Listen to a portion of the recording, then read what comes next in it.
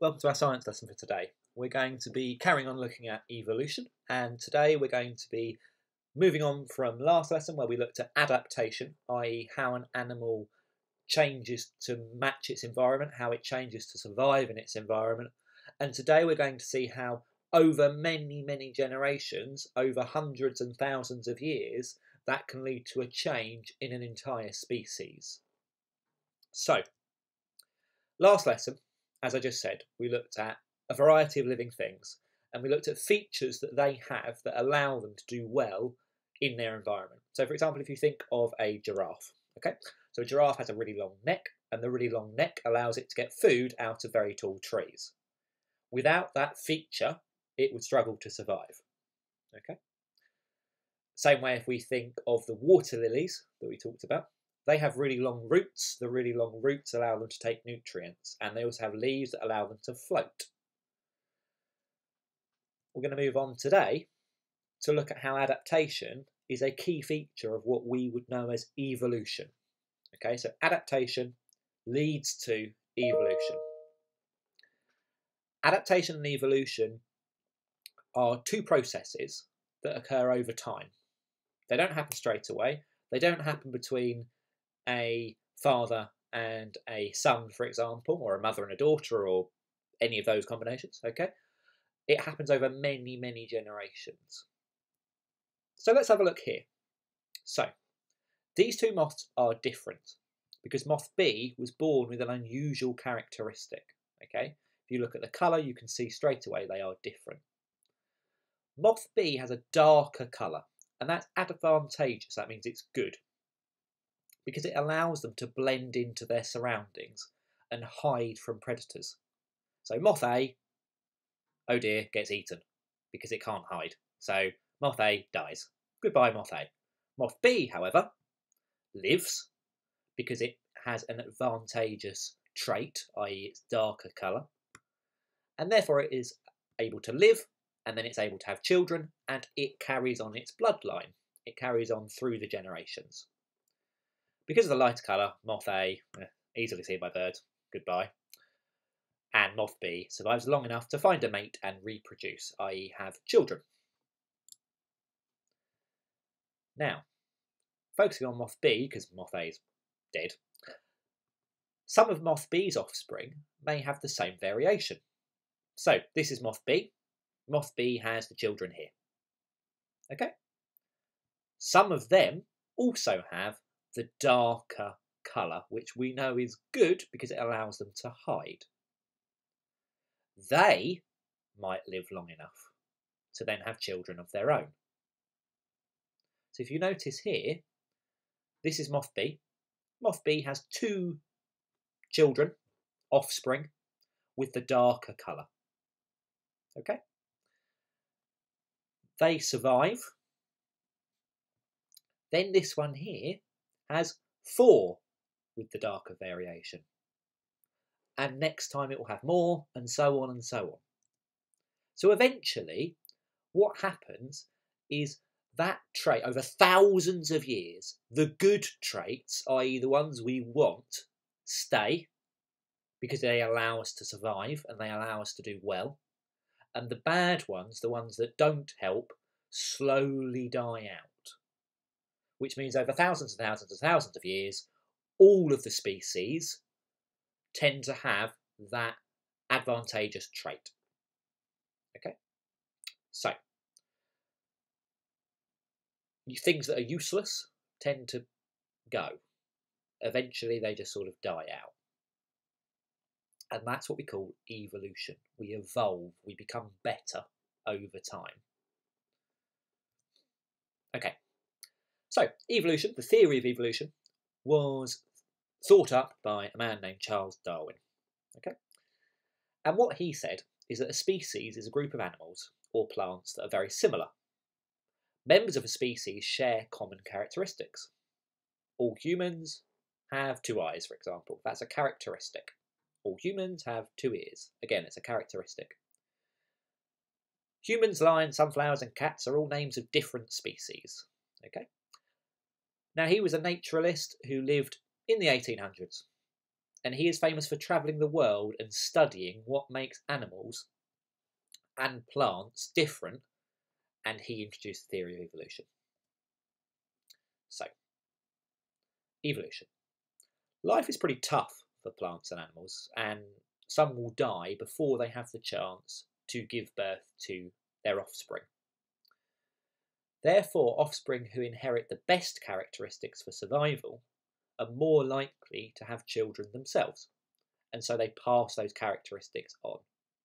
The ones that are more able to survive live to have children, and they pass those traits on. So a peahen picks the peacock with the brightest and biggest tail feathers to have children. Peacocks have evolved accordingly, and it's rare to see one without big and bright tail feathers, because only the ones with big and bright tail feathers were able to then have children. The ones that didn't have the big and bright tail feathers didn't, and so they their traits are no longer around. And now we look at the Galapagos finches. Now the Galapagos finch parents reproduce and create offspring. Now they're all slightly different and unique. Each and every one is slightly different. If you look here, you can see some of the variations, like a game of Spot the Difference. When bad weather affected the plant growth and there were fewer seeds to eat, the offspring had to eat larger seeds that would not normally be part of their diet to survive. They had no choice. It was either eat the larger seeds or die. But only the offspring with large beaks were able to eat those larger seeds. So they survived. The others, unfortunately, didn't. So that trait of having a large beak, what do you think happened to it? Do you think it carried on? Do you think more finches had the larger beaks? Do you think it didn't carry on? Well, the answer is, of course, it carried on because it was good to have that larger beak. It meant you could eat the food and therefore survive. They were able to have children, and those offspring, they inherited the large beaks, so they were able to have children, and so on and so on and so on and so forth until eventually all of them had those large beaks. And this is an example how over time animals can adapt to their environment and are able to survive better. The process where the ones that have the good stuff survive and the ones that have the bad stuff die is called natural selection, i.e., nature says you will survive because you have this advantage. And unfortunately, you with the small beak, you don't. Now, the vampire finch, yes, it's called a vampire finch, is one of the many, many, many, many, many strange creatures on the Galapagos Islands. The unusual bird is a subspecies, so that means it's part of a species, of the sharp beaked ground finch. The bird earns its common name from its unusual diet. It occasionally drinks the blood of Nazca.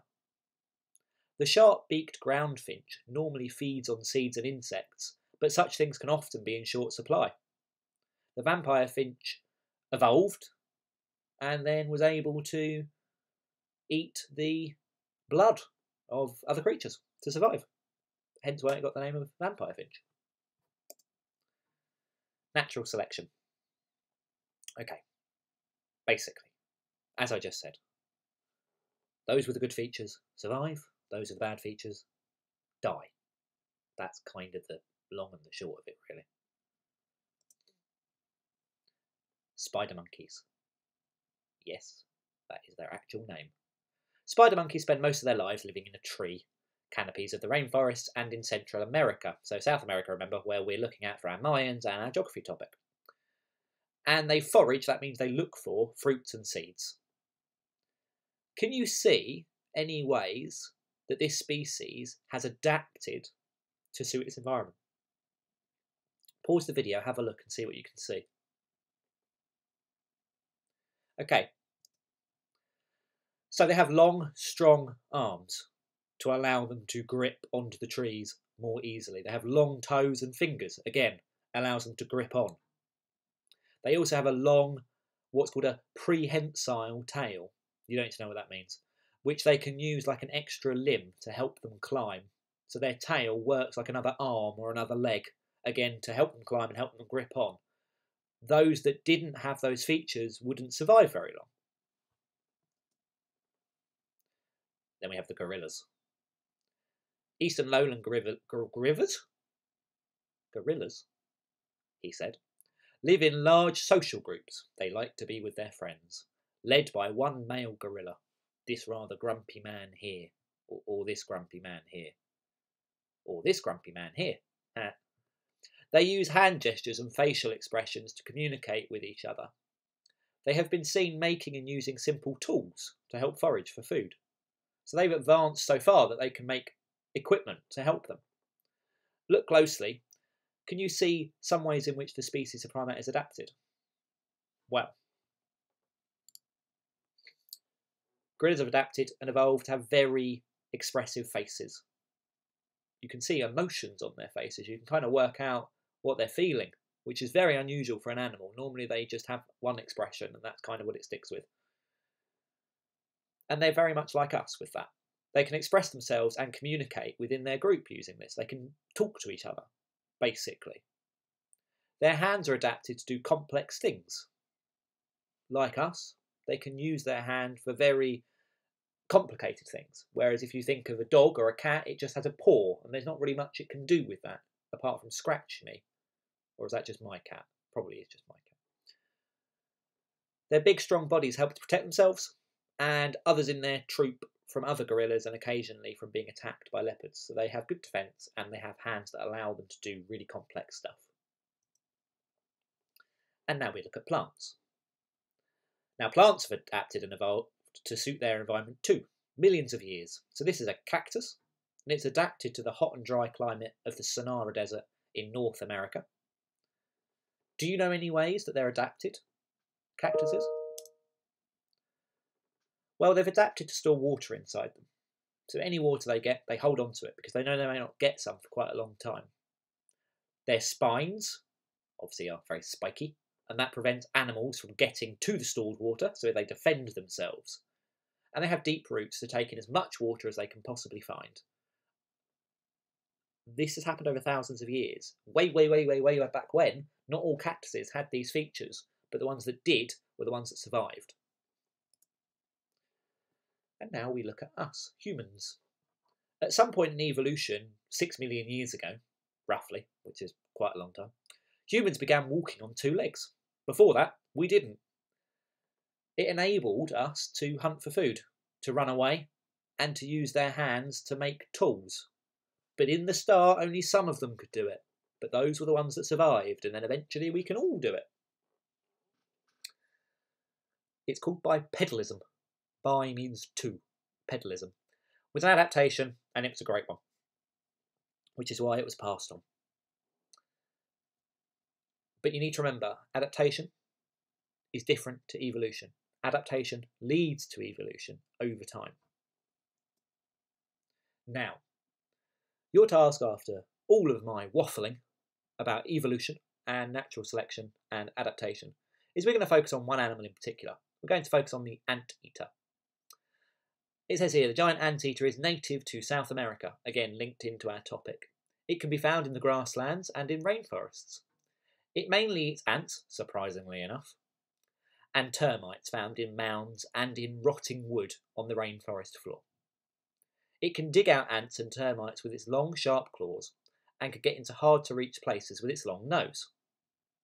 It has a specialised long tongue for licking up the ants and termites. Sounds disgusting, but there we go. Now, variation. I want you to imagine that an offspring is born with a new variation. It has a slightly longer tongue. What I want you to explain is what you think might happen to the anteater over thousands of years. Focusing on that one new variation, what's going to happen to that anteater? Is it going to pass it on? then if it does pass it on, what's going to happen to anteaters over time? Think about what happened with all the other creatures. Now, the way you're going to do this task is entirely up to you. I have uploaded it to Seesaw, if you like. Now, on Seesaw, it's here. I've uploaded it with a couple of suggestions. So you could record a verbal explanation, i.e. you can click the little microphone button here and record yourself saying what you think would happen. And that's absolutely fine. That's great. We'd love to hear that. You could type a written explanation using the text button here. You could draw a picture showing what would happen over time, like we saw on some of those PowerPoint slides earlier with the moths, and you could take a photo of it. You could write an explanation and take a photo of that or you could record a video of you explaining it and upload that. However you do it is entirely up to you. You can make a poster if you like, but your job is to explain what you think would happen to the anteater over time if it had this variation. Okay, lovely. Thank you very much for listening. Speak to you soon. Bye.